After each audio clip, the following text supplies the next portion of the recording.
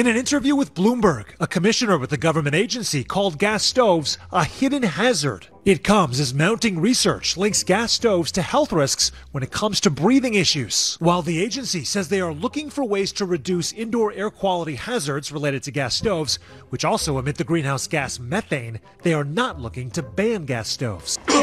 Welcome back, viewer. In recent months, there's been a growing push to ban, of all things, gas stoves due to claims from alarmists about their supposed impact on the environment and public health. We all saw it when AOC tweeted out fear mongering about gas stoves, apparently forgetting that she has a gas stove, which set off many on the right who called it yet another insane overreach by the extreme left. This led to over the top mockery from the media and a now common response that it was all just a right wing conspiracy theory, which is what they call anything they don't want to talk about and want to go away.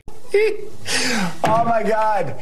Oh my God. You have Ron DeSantis, so I'm going to protect your gas. The Everybody signs. talking about gas stoves, gas. It's so stupid. Whoever's pulling this issue and telling Republicans to obsess over it, Kevin McCarthy. they just need to stop.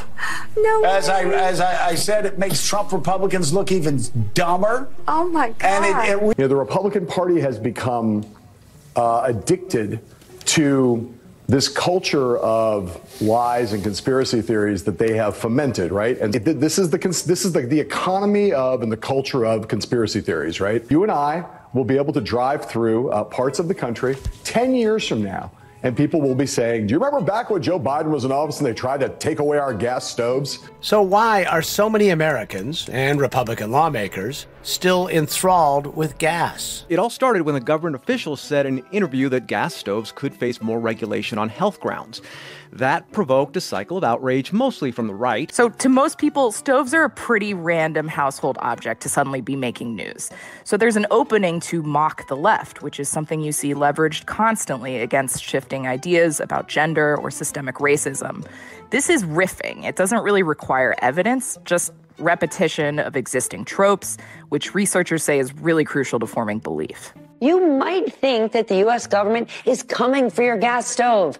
That is a new and absolutely ridiculous one. Turns out Fox News and Republicans are up in arms because they say the government is coming to take your stoves. What Republicans are saying is, damn it, they're going to take your gas stove. GOP have been stoking a ridiculous new freakout about gas stoves. No one is taking your gas stove. The right wing freakout over the use of gas stoves is merely the latest in a long series of made up culture war battles designed to enrage and rile up their right wing and paranoid base. Republicans are prone to conspiracy theories, whether it's, you know, the kooky, like JFK Jr. is coming back from the dead to run with Trump, or um, the sort of duplicitous, like this administration's coming to take away your gas stoves. Survey says. Except it wasn't a conspiracy theory. And as always, it turns out that the media was just giving cover to Democrats to push policies that they knew would create backlash to the party. Have you ever noticed how they always start out denying there's anything there? Like CRT, for example, which they insisted wasn't in schools. But then, as soon as Republicans started banning CRT in schools, the very same people lost their minds and insisted that they wanted it in the schools. First, they claimed banning gas stoves was a right wing conspiracy theory, and now this. But there is no doubt the science is showing us that those choices are heating up the planet at a sort of a scary rate. This is part of a wave of electrification across the country. New York, the first state, but there's about 90 different municipalities and counties. The first was Berkeley, California, a couple years ago. But this is one step closer to uh, a world without fossil fuel pollution. And it's a big one given the size of New York. All right, folks, I have yard work to do, so I'm going to wrap it up there. But if you enjoyed, please hit that like button, share, subscribe, and make sure to let us know what you think in the comments. Thanks a lot, and I'll see you all in the next one.